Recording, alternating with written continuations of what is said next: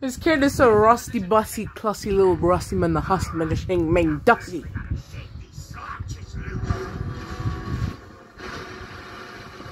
Oh, this old man has ideas, boy.